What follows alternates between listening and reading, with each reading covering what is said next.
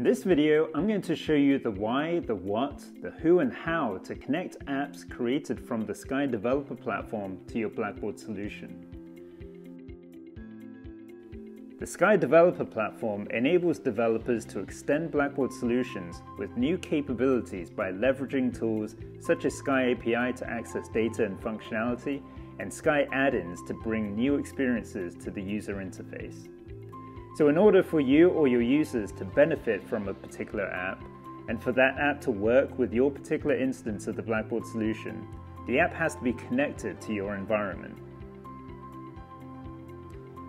When an app is connected to your environment, it means that your users will be able to select the environment to authorize the app to do what it needs to do with your data via Sky API.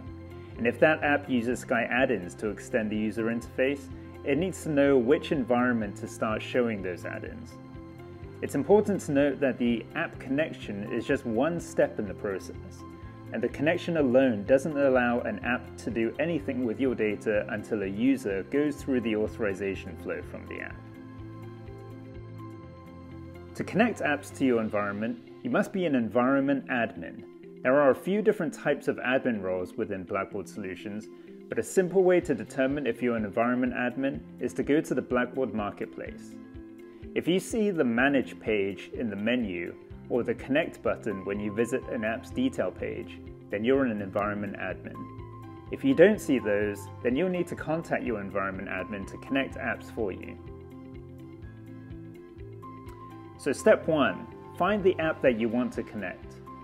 The Blackbaud Marketplace has a curated list of apps that you can browse and connect right from the app's detail page. Just click on the app that you want to connect and click Connect.